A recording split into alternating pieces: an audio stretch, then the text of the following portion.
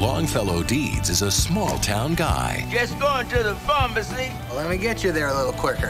How's your wife? He's fine. Terrific. Say hi for me. I will. who's about to receive When Mr. Blake died, he left an enormous fortune. He left it all to you, Deeds.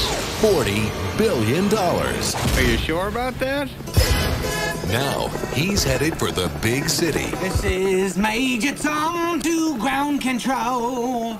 I'm stepping through the door. and discovering there's a surprise The biggest story of the year, and we've got nothing? You've got to be ruthless. I'm all over this. around every corner. Ooh, there he is. Help! I'm being mugged! Good luck. See you at the office. Don't worry, I'll get him. Oh, shoot. Stop right there.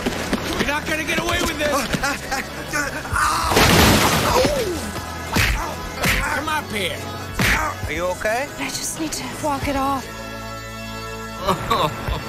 From the producers of Big Daddy I met this girl. I think she's the one. Remember, I'm Pam Dawson, virgin school nurse. That's priceless.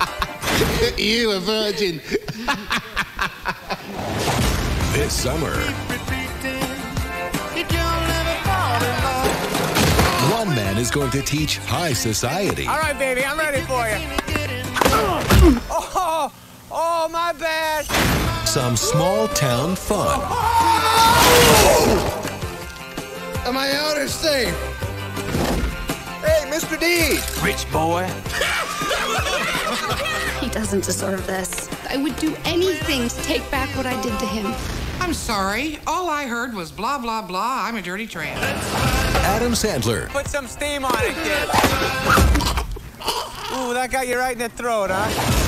Mr. Deeds, I got wicked bad frostbite when I was in the scouts. Just whacked my foot. Don't be nervous. Go ahead. Didn't feel it. Isn't that awesome? Go ahead. Enjoy the foot. You know you're starting to like it, aren't you? You're sick!